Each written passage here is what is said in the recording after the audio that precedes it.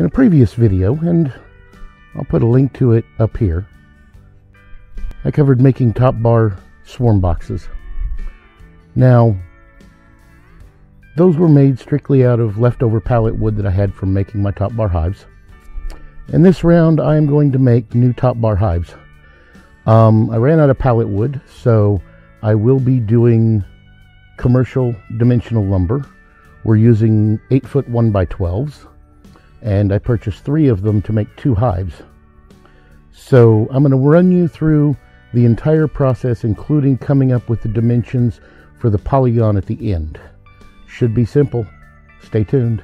To work out our angles for the end, we're going to need a pencil, a straight edge, and a square. In this case, I'm using a large framing square, and a tape measure. Now, all of my hives are the same length, and that would be the length of one pallet board. I run my tape measure. It's three foot eight and one eighth inches.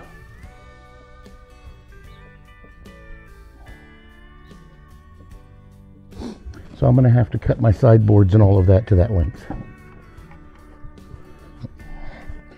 The other thing is, I like to use the pallet boards on bottom. Now, pallet board is five and a quarter inches wide, which makes this a one by six roughly. So we're going to need to design the bottom at five and one quarter inches, and we'll use this pallet board to set that. So when we calculate this out, you want your top dimension for your side to be three times your bottom board. Well, at least I, that's the numbers I'm working with. If we have 5.25, five and a quarter inches, times three, we have 15 and three quarter inches across the top. We're going to start by coming from the end and measuring 15 and 3 quarter inches. Okay. We're going to need half of that distance, which is 7.875 inches. 7 and 875, we'll say 7 and 7 eighths. What we're going to do is we're going to set this square up here on that dot. Line the top up along with the board. And we are going to draw a line right down the middle of the board. This gives us our center line for our top board. Now we know that this is five and a quarter inches. We know it's five and a quarter.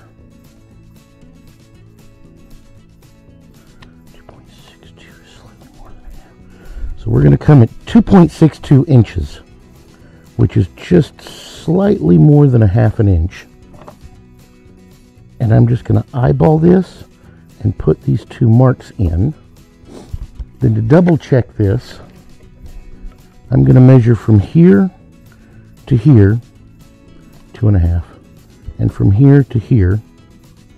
So the whole thing needs to shift this way just a little bit. And what I'm doing is shifting it just a hair each time and then double checking my measurement. So that's two and five eighths, two and five eighths. Okay. So that comes out to two and five eighths inches on either side of that line. And we're going to take from here and draw a line up to the corner. There we go. And then we're going to take this dot here and connect it to this dot here. And now we have our basic shape. Now again, I'm going to double check this, and we're always double checking our measurements before we cut. We're going to put this board at the bottom and it is spot on for the width. So we now have one end board laid out.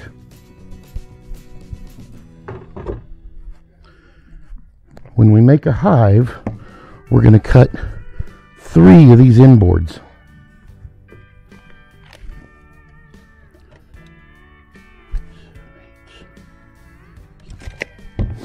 We're going to cut three of these end boards because we're going to use one at either end of the hive and then the third one is used as a backer board to reduce the size of the hive that the bees have access to. All right, so for this cut, we are going to use a standard circular saw, sometimes referred to as a skill saw. Now, the way I like to set this up is so that it's just slightly thicker than the board. Um, this is scrap wood, so I don't care if I cut into it. What I'm going to do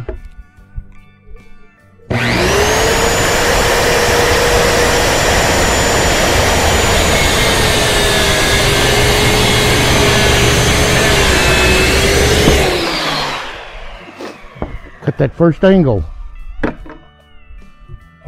Slide that board up a little bit. We're going to come back and cut the second angle.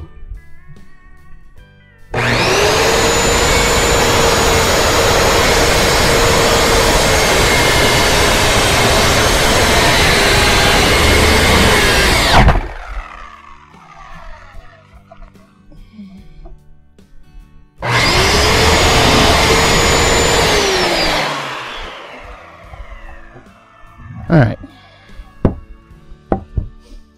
We we now have our master end board cut. Since we will be marking these with using a single board to mark it, I'm going to mark this as master. Slide this board forward.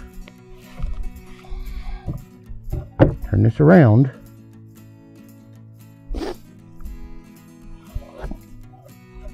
We get our second board, but we only have to cut one side.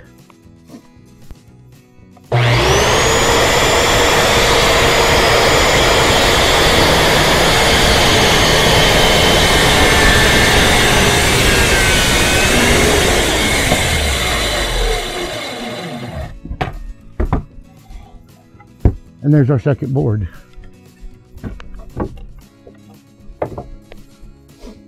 Now I'm building two hives right now, so this is going to be six of these boards cut out. So we're leftover piece of wood here. Is it big enough? No. It's actually shorter than the length needed for the side. However,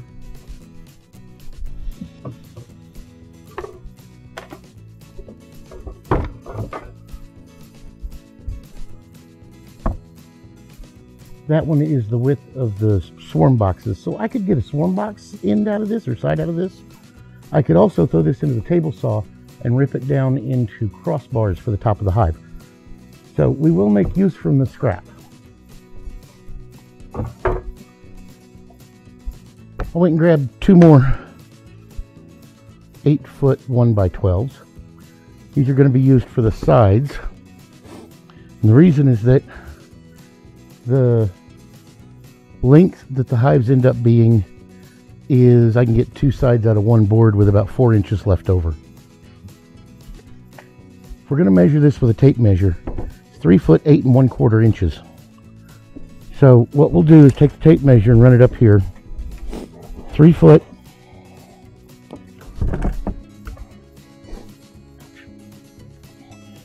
three foot eight inches and one quarter. Put a tick on one side of the board. Now we're going to run it up the other side.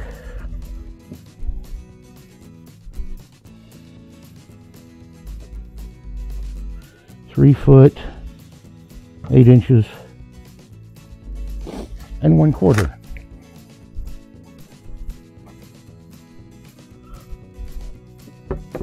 So now we can take bit. Take this square, connect those two dots, and draw us a line. That gives us our length. Now that we have our length set, all we need to do is run the saw along the line and cut this.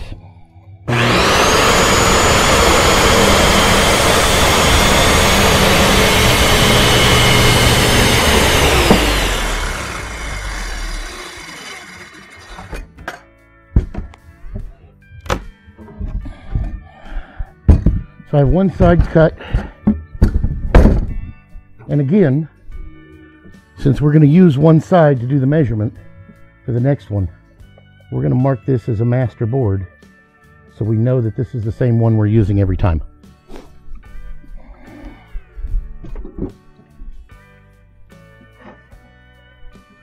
In a nutshell, run it down, line up the cut ends, make sure it's square,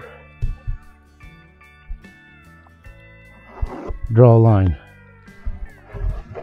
That's the next cut line. I'm going to turn this board around to make it a little easier to cut.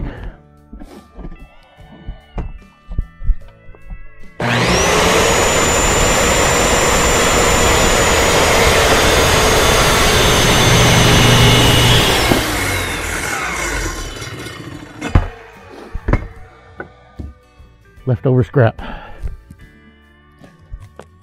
Not sure that this scrap can be used for much because you don't want to cut this way for a top bar because if you cut across the grain the top bar will bow and warp. You always want to cut with the grain for a top bar. So right now that's scrap.